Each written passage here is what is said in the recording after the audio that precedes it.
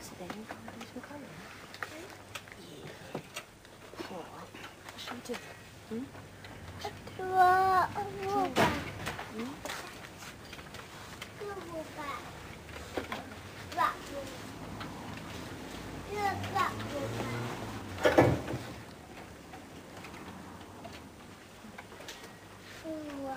Stay where you are.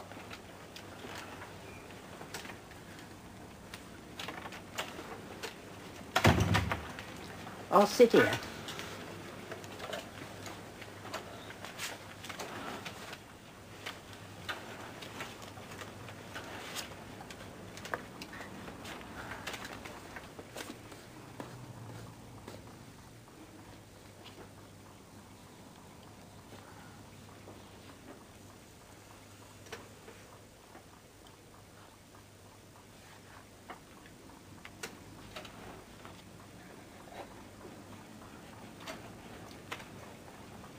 Ian, go and get my case off my bed and bring it in here, will you? Yes, Gran. Jill, post this letter to Ethel for me, will you? Yes, Gran. Here you go, Gran. Thank you, Ian. We'll start with you, shall we, Ian? I think you're a bit of a fool if you really want my opinion. You've got no direction in your life. You start all this city and guilds business for your catering and then you chuck it all out the window. There it went. Your parents gave up a hell of a lot so you could do that course. And how do you repay them? You start up a disco business. More money, is that it? Well, money ain't all that important. You'll find that out one day. Do you know, I think I know why you threw in the towel. You'll know that expression being an ex-boxer. Because you couldn't stand being ribbed by your mates. Cooking. Well, not very manly, is it? A real man would have stuck it out and stood up to them. You don't have to prove you're a man. You should know. You're a pleasant looking lad and you've got a nice personality. So do something with it. Sit down and write a list. Write out all the things you want to achieve, your ambitions, and plan how you're going to get them. And then stick to it. Now, will you? I'm asking you, not your dad. You've got to stand on your own two feet, not his.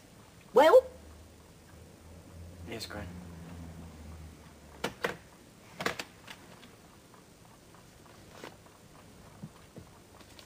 For you. Thanks, Gran. Shell. Well, what a mess you've made. Can't even bring me great-granddaughter to see me. In the old days, your behaviour would have brought shame on this family. Pregnant while you're still at school?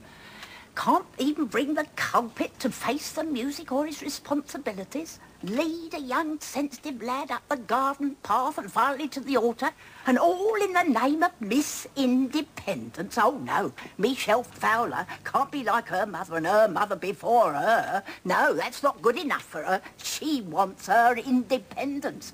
Well, let me tell you, miss, that you mistake independence for self-centeredness. You've grown up too quickly and you've grown too selfish. You're all take and me and I.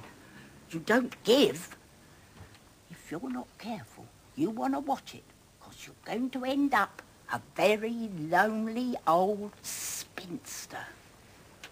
There's an old word for you. It's almost as old-fashioned as maid aunt. I want you to start thinking of others.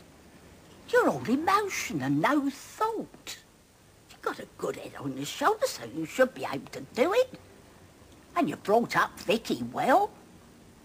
I want you to start thinking of others for a change. Especially your mother. Understand?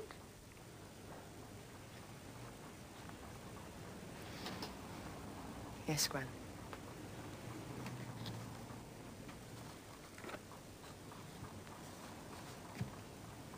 It'll come in handy. Thank you. You're all right, Kathy, when you stay ordinary. Don't get airy-fairy ideas above your station. Start your own business. Join the Samaritans. When you stop being ordinary, you open yourself up to all kinds of trouble. The less said about that, the better. Sometimes you bring it on yourself. Ordinary people are the salt of the earth in a place like this. We've had too many Anges in Walford. And you spend more time with your husband. You don't see half enough of each other. Yours is an ordinary, decent marriage. And I want it to stay that way. We want to have one successful relationship in Walford. So, work at it as a favour to me. All right, Mum.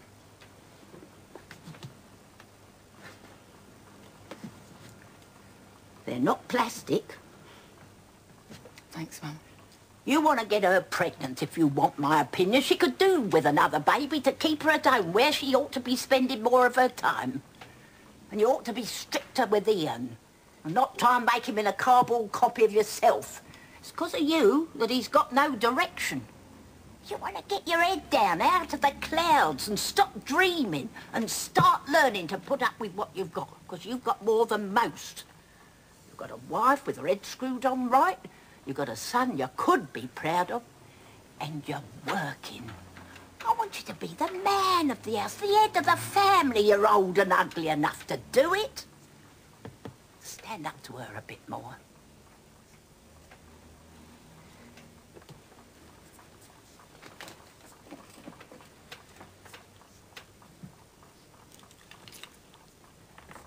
Your dad's. I know. Tama.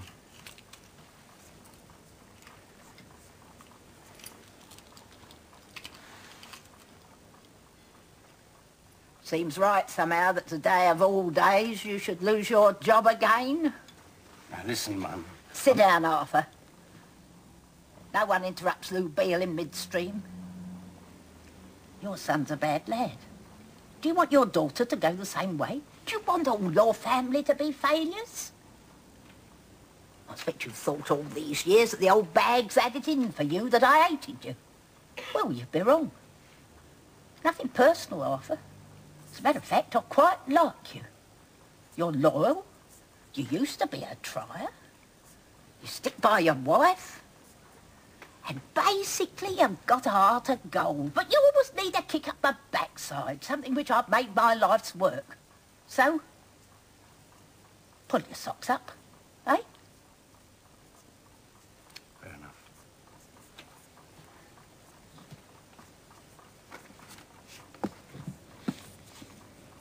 It was Albert's. It's about gardening. Thanks, Mum. Well, you've got the lot, haven't you? I'm surprised your shoulders haven't buckled with the weight resting on them. They broke the mould when they made you. The last of the line where we all come from. I don't know how you do it. Working, looking after this lot, looking after me. And yet I've never heard you complain. Maybe you do it when I go to bed. Got one fault. You keep too many secrets. Don't use what you know to take it out on other people. You only cause chaos. Either spill the beans or forget you ever heard anything about it. I think you'll be able to cope. You've done bloody well up till now. You could try smartening yourself up a bit and a smile now and again wouldn't come amiss. And you gotta let yourself go occasionally. Otherwise, you'll get old before you need to. Make sense? Yes, Mum. Thanks.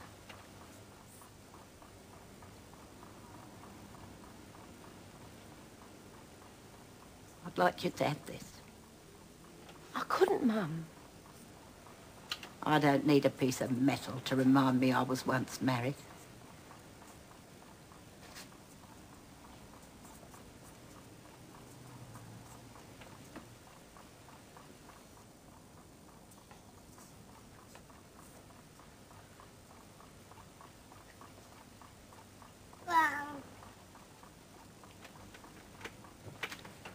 Right. That's you lot sorted out.